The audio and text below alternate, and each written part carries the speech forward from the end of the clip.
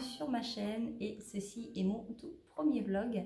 Alors aujourd'hui nous sommes le jeudi 12 euh, janvier 2023 et ce matin déjà pour bien commencer la journée j'ai eu un entretien d'embauche parce que pour ceux qui euh, me suivent sûrement sur Instagram, euh, maintenant YouTube aussi, hein, je suis en Nouvelle-Calédonie tout fraîchement arrivée et je cherche du travail.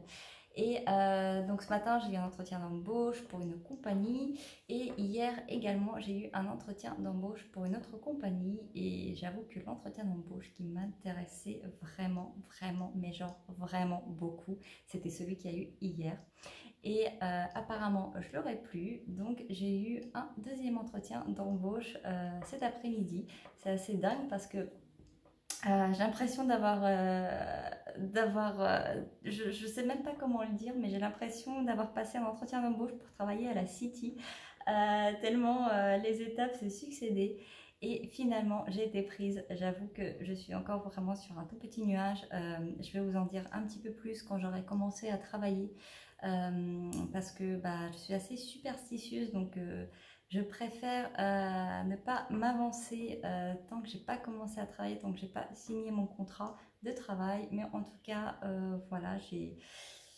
Été prise apparemment dans un poste que je convoite depuis très très très longtemps et ça y est, ce jour est arrivé donc euh, c'est juste dingue. En plus le jour de Saint-Valentin, je pense que les étoiles, euh, Saint-Valentin, le jour de, la Sainte Tatiana, je pense que les étoiles se sont alignées en fait, tout, tout, tout s'est aligné, les planètes se sont alignées euh, pour que je passe la meilleure journée au monde. J'ai l'impression d'avoir gagné au loto, mais euh, quand je vous dirai ce que c'est, peut-être que certains comprendront ma joie. Enfin bref. Euh, alors en ce moment, je suis en train de lire Toi, non, lui et moi de Alice aux éditions euh, Hauteville. Euh, je vais aller vous chercher ma liseuse et euh, je vais vous lire le résumé pour ceux qui ne connaissent absolument pas ce livre. Alors, c'est parti pour le résumé. Il y a toujours deux versions d'une même histoire. Anna Andrews s'est juré de ne plus jamais remettre les pieds à Blackdown, ce village où elle a grandi et vécu un cauchemar qu'elle n'est pas prête d'oublier. Pourtant, c'est précisément à Blackdown qu'on retrouve une femme sauvagement assassinée. Anna, correspondante pour la BBC, n'a d'autre choix que se rendre sur place pour couvrir l'affaire. Elle est sous le choc en découvrant l'identité de la victime. Euh, voilà. Alors, est-ce qu'il y a la suite résumée ah. Eh bien, écoutez, c'est le seul résumé que ma liseuse me propose, mais euh, je vais vous faire un petit résumé moi-même. Donc déjà, moi, je suis à peu près je suis à plus de la moitié déjà, euh, je suis à plus de la moitié de ce livre, euh, je suis à plus de 70% je pense, donc il me reste juste un tiers. Euh, j'adore ma lecture, donc je vous mets d'ailleurs le la couverture juste là parce que malheureusement je ne peux pas vous montrer comme ça, j'ai pas le livre, je l'ai sur la liseuse, mais euh, c'est l'histoire déjà de Anna, euh, qui est à la base présentatrice, qui a eu enfin le poste qu'elle voulait. Elle est présentatrice de 13h, du journal de 13h à la BBC, tout va bien, c'est génial. Et euh, en fait, là, la personne qu'elle était censée remplacer depuis deux ans revient de son congé maternité et on la rétrograde en quelque sorte et elle redevient reporter sur terrain alors, et euh, ce qu'on les propose, c'est dans un premier temps couvrir le reportage d'un meurtre, euh, d'un meurtre qui euh, a eu lieu dans la forêt de Blackdown, son village natal. Et de l'autre côté, nous avons lui, lui qui est Jack, si je vous dis pas de bêtises, Jack, Jack, Jack. Et de l'autre côté, nous avons euh, donc Jack euh, qui lui est flic à Blackdown et qui va forcément enquêter sur ce meurtre-là. Et il s'avère que la victime, c'est quelqu'un euh, que les deux parties connaissaient. Et c'est là que tout va commencer en fait, toute cette enquête-là. Alors, ce que j'aime déjà euh, dans ce livre-là, et par rapport à là où j'en suis, c'est qu'on a une trame euh, qui est racontée par trois voix différentes. Donc, on a elle, lui et également de temps en temps nous avons le meurtrier. Et ça qui est intéressant, et d'ailleurs ça me fait beaucoup beaucoup penser aux poupées de Alexis Lepskier, on avait également le même cheminement. On avait plusieurs personnes qui racontaient la narration et on avait également euh, le meurtrier qui venait se glisser entre deux chapitres pour donner sa version des faits. Euh, donc euh, ça c'est vraiment quelque chose que j'adore dans les thrillers, avoir cette espèce de, de, double temporalité, en fait deux visions de la même histoire et même trois visions avec le meurtrier, on est dans sa tête et et ce qui est chouette, c'est que euh, on a l'impression que tout le monde est coupable. Vraiment. Je ne sais pas qui est le coupable, donc je ne peux rien spoiler du tout. Mais quand on lit, tout le monde est susceptible d'être le coupable. Et c'est ça qui est génial. Et on commence à soupçonner tout le monde les uns après les autres. Quelques indices sont éparpillés par-ci, par-là. Et c'est vrai que c'est un vrai jeu euh, que nous offre Alice Fenné, un vrai jeu entre l'assassin et nous. Et c'est assez addictif. Voilà pour ma lecture en cours. Sinon, actuellement, euh, je suis aussi en train euh, d'écouter en audio le tome 4 de la saga des 7 sœurs de Lucinda Raleigh. Donc, c'est le tome qui parle de Sissi. Euh, vraiment, je suis qu'au tout début. J'ai peut-être fait 3 heures d'écoute sur les 16 heures. Donc, euh, pour l'instant, je ne peux pas vous en dire beaucoup, beaucoup. Mais euh, j'avoue que j'aime beaucoup cette sœur-là. et j'aime beaucoup aussi le, les chapitres qui traitent du passé, donc la temporalité passée sur ses ancêtres ou ses prétendus ancêtres. Pour l'instant, on n'en sait pas davantage. Et ouais, comme à chaque tome, Lucinda Raleigh arrive à à me faire partir très très très loin. Là, en l'occurrence, euh, on part euh, en Australie, donc c'est assez bien. Euh, voilà ce que je peux vous dire d'autre. alors écoutez, bah, c'est tout pour le moment. et puis de toute façon, je vous retrouve très rapidement. Bisous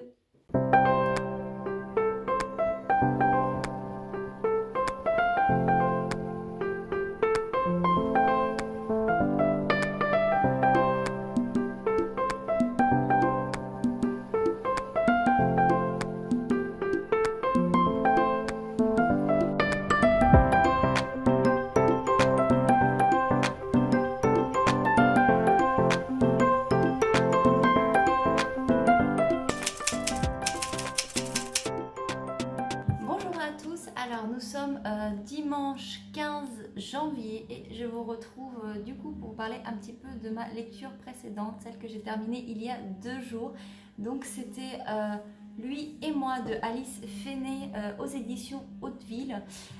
j'ai terminé et comment vous dire que j'ai été très surprise par la fin puisque je m'attendais absolument pas à ce dénouement là.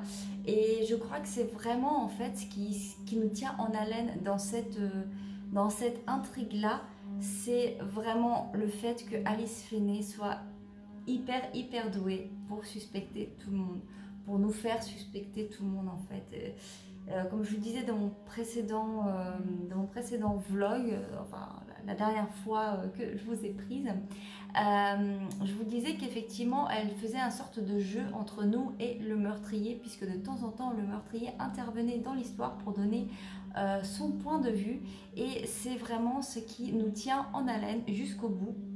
Et jusqu'au bout, on ne doute absolument pas de qui ça peut être tout en essayant d'imaginer que ça pourrait être n'importe qui et tout le monde en même temps. Vraiment, c'est ça qui est génial, c'est qu'on se dit ah non, c'est peut-être lui, ah non, finalement c'est peut-être lui, finalement c'est peut-être même les deux, ou le troisième, ou le quatrième, ou le cinquième.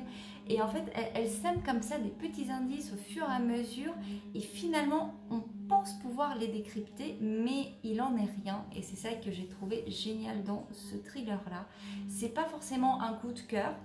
Euh, j'ai eu euh, des, thrillers que j'ai lus. Euh, en 2022 vraiment qui m'ont donné des palpitations, qui m'ont donné la chair de poule. Je me souviens que c'était assez énorme et quand je les ai refermés, j'étais là en mode waouh, c'est déjà fini, un an, j'en veux plus. Et, finalement, en fait, euh, avec celui-ci, je ne l'ai pas senti et pourtant, euh, j'arrivais vraiment pas à, m'en décrocher en fait. C'était assez, euh, assez addictif. Euh, dans cette façon de faire, de toujours mettre en scène tel ou tel personnage et le narrateur changeait au fur et à mesure. On avait un coup, euh, euh, c'était elle, puis c'était lui, puis c'était le meurtrier. Et c'est vrai que c'est un très très bon thriller que je recommande. Vraiment, moi j'ai adoré en fait, j'ai adoré jusqu'à la fin. On est en suspens, on ne sait pas en fait, on ne sait pas. Et c'est vraiment tout à la fin que tout se révèle. Et on se dit, ah d'accord, D'accord. Ok, je comprends mieux. Donc voilà pour, euh, pour lui et moi de Alice Fenné. Ça a été une très très bonne lecture et je suis trop contente d'être tombée dessus par pur hasard euh, quand je me cherchais des petits livres en promotion sur Kobo. Alors, et il y a deux jours, j'ai commencé un tout nouveau livre. Donc cette fois-ci, c'est pas du tout un thriller. Euh, j'ai complètement changé de registre. Et euh, je me suis aventurée sur un roman. Donc pour ceux qui me suivent sur Instagram, j'ai posté une petite photo il y a deux jours. Euh, comme quoi j'ai commencé un nouveau roman. Donc c'est Les Sœurs du Titanic de Patricia euh, Falvé.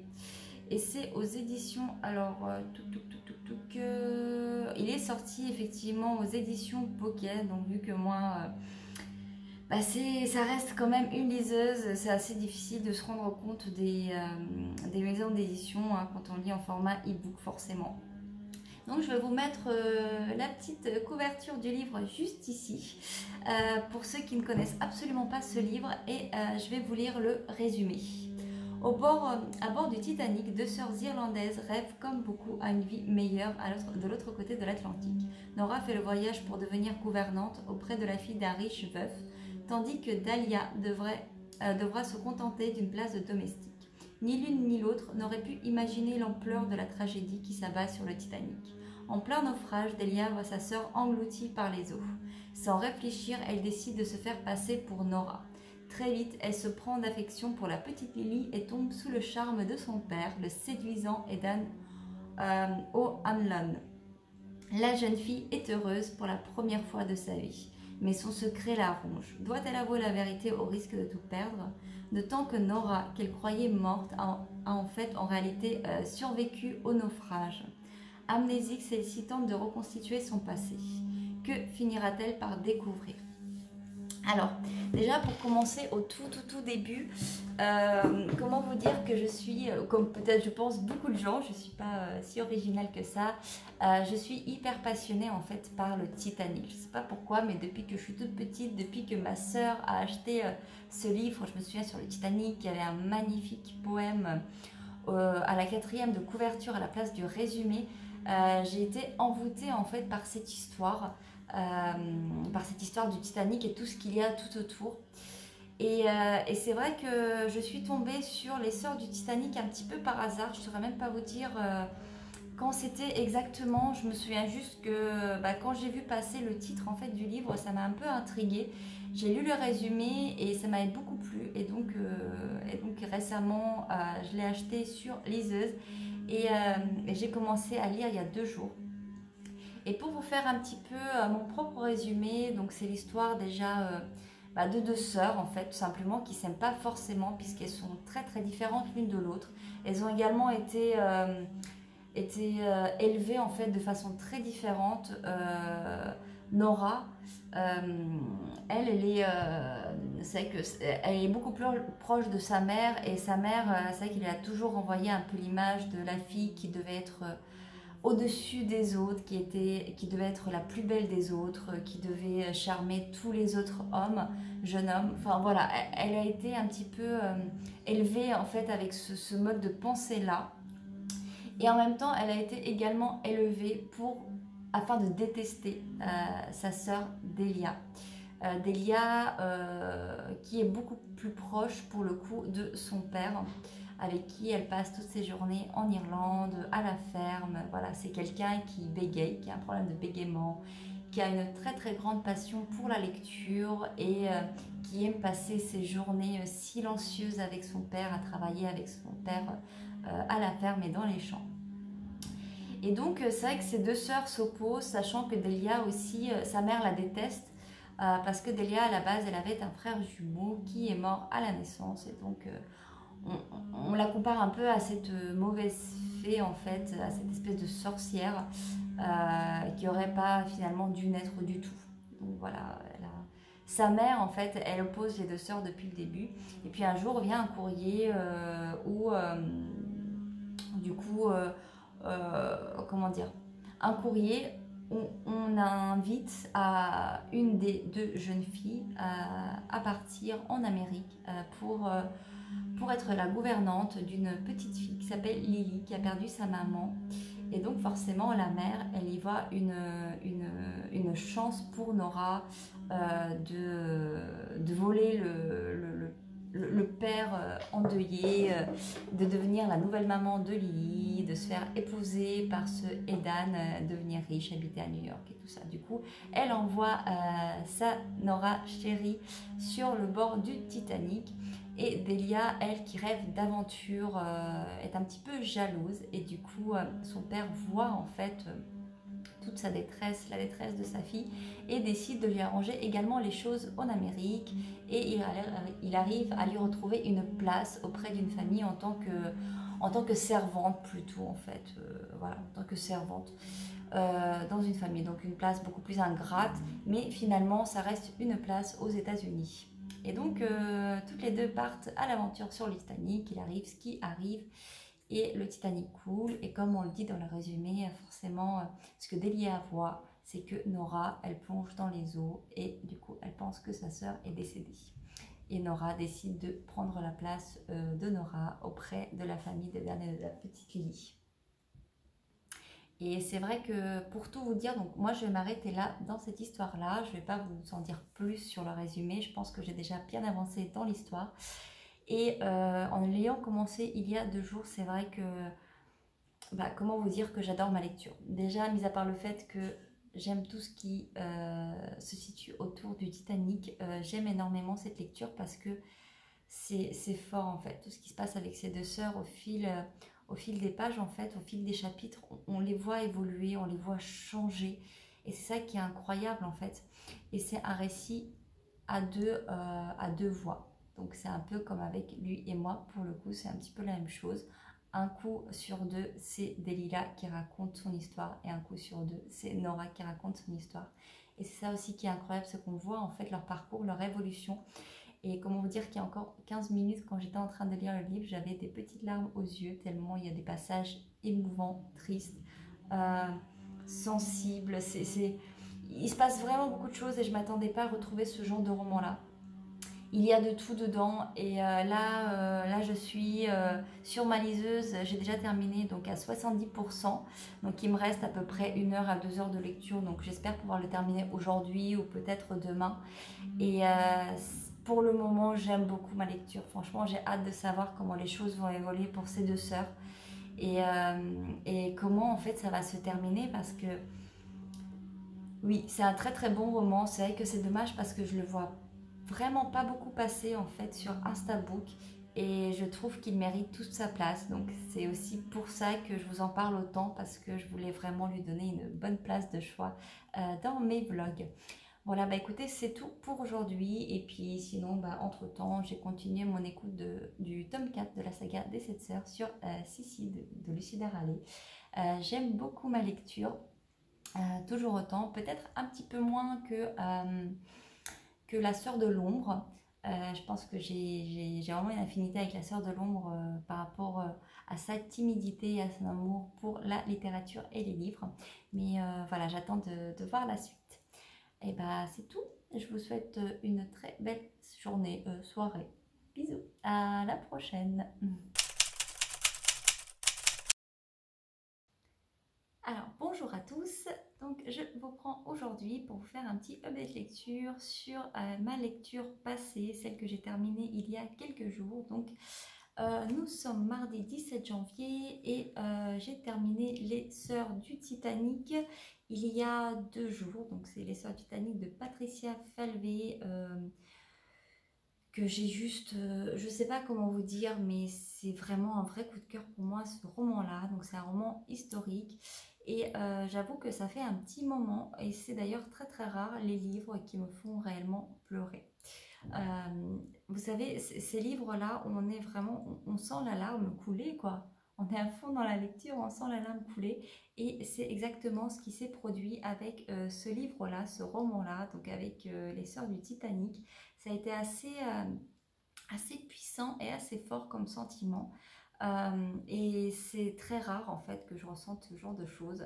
Ce qui est assez intéressant, c'est que ce roman-là, on le voit très très peu passer sur Instabook et j'ai un petit peu regardé et on le voit presque pas passer quand on tape les sœurs du Titanic.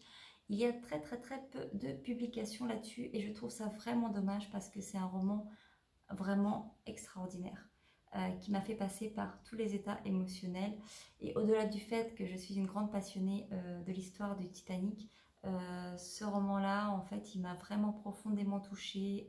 les deux sœurs, leur destin, leur évolution, tout ce qu'elles ont vécu et tout ce qu'elles vont vivre, en fait, euh, dans ce roman-là. Euh, c'est juste incroyable. La plume de Patricia Falvé, elle est très fluide. Ça coule de source, en fait. Ça coule tout seul. Les pages se tournent toutes seules. Et ce sentiment est tellement agréable. Et, euh, et, la manière, en fait, dont elle choisit les mots, c'est fluide. C'est vraiment... on ne le voit pas, en fait, passer ce livre-là. Et, c'est ça que je trouve très, très intéressant. C'est que il y a très peu de gens en fait qui en ont parlé alors qu'en fait il mérite vraiment toute sa place euh, sur Bookinsta et, euh, et j'espère qu'après ce vlog il y aura plus de lecteurs qui viendront me dire ah moi aussi j'ai aimé ce livre là parce que vraiment euh, j'aimerais beaucoup en parler voilà en tout cas c'est un très très très grand coup de cœur pour moi c'est très difficile de ne pas vous en dire plus en fait sur ces deux sœurs et tout ce qui leur arrive dans cette terre promise qu'est l'Amérique on les voit évoluer, que ce soit à New York, on les voit également évoluer à Texas, euh, et puis également en Irlande, euh, puisque c'est leur terre natale. Et, euh, et c'est assez difficile pour moi de ne pas vous en dire plus, mais je vais vraiment me taire et, et, vous laisser toute la surprise, en tout cas pour celles et ceux qui souhaitent le découvrir. vraiment, je vous le conseille à 200%. C'est un livre magnifique et euh, qui est écrit en fait euh, avec une main, une plume magnifique, merveilleuse. Et euh, voilà, c'est tout ce que je peux vous dire sur les sœurs du Titanic. Et il y a deux jours, j'ai commencé un nouveau roman de Virginie Grimaldi, Il ne restera ça, aux éditions Fayard, et dont je vais vous lire le résumé tout de suite. À 33 ans, Iris trimballe sa vie dans une valise. Théo, 18 ans, a peu de rêves car ils en foutent partout quand ils se brisent. À 74 ans, Jeanne regarde son existence dans le rétroviseur. Rien ne les destinait à se rencontrer. Quand le hasard les réunit sous le même toit, ces trois êtres abîmés vont devoir apprendre à vivre ensemble. La jeune femme mystérieuse, le garçon gouailleur et la dame discrète se retrouvent malgré eux dans une colocation qui leur réserve bien des surprises. C'est l'histoire de trois solitudes qui se percutent, de ces rencontres inattendues qui sonnent comme des évidences. Voilà pour ces résumés. Euh, donc euh, après, j'ai pas beaucoup avancé, à vrai dire, ces derniers temps sur mes lectures. Donc je suis à peu près euh, à une centaine de pages sur 400 sur ma liseuse. Donc encore une fois, je ne pourrais pas vous en donner plus d'informations. Je ne suis qu'au début, à mon humble avis. Mais pour le moment, j'avoue que j'adore en fait. Ça me fait tellement plaisir à chaque fois de retrouver la plume de Virginie Grimaldi. À chaque fois, je me dis, bon, bah, il faut que je lise celui-ci, il faut que je lise celui-là. Et puis le temps passe, je les mets euh, sur, euh, euh, dans ma palle, sur ma liste de livres que je vais lire mois après mois. Et au moment de, commencer en fait un livre de Virginie Grimaldi, je me dis ah peut-être que je pourrais commencer un autre. Pourquoi déjà j'ai choisi celui-ci? Mais dès les premières pages, dès que je commence à le lire, je me dis ok, je comprends pourquoi. Et à chaque fois, à chaque fois, elle me fait sourire, elle me fait tellement du bien, c'est juste incroyable. Et là, encore une fois, nous avons euh, cette histoire de d'un sans-abri euh, Théo euh, d'une femme seule en fait qui, qui, doit loger d'un appartement à un autre, qui n'a pas d'appartement fixe, qui euh, son bailleur euh, il la met dehors et puis nous avons également Jeanne qui, qui vit toute seule, qui a perdu son mari, l'amour de sa vie et qui n'a pas assez d'argent, qui, qui en fait ne peut pas vivre avec seulement sa retraite. Et donc, elle décide tout simplement bah, d'ouvrir une colocation puisqu'il lui reste deux chambres de disponibles et forcément, elle choisit euh, ces deux personnages-là. Et je ne suis qu'au tout début, mais c'est que ça, je pense que ça promet d'être très intéressant, très émouvant, comme à chaque fois avec Virginie Grimaldi. De toute façon, euh, j'ai l'habitude. Euh, c'est le quatrième livre que je lis d'elle et ce sera pas du tout le dernier. Donc voilà pour le moment où j'en suis dans ma lecture. Et sinon, dans ma lecture audio, il me reste encore à peu près 10 heures sur 16 heures d'écoute avec euh, La sœur à la perle de Lucinda Raleigh. Donc euh, je pourrais vous en dire davantage un petit peu plus tard. Écoutez, c'est tout pour le moment. J'espère vous prendre encore une dernière fois avant de clôturer ce vlog. Et euh, si ce n'est pas le cas, eh bien, je vous retrouve la semaine prochaine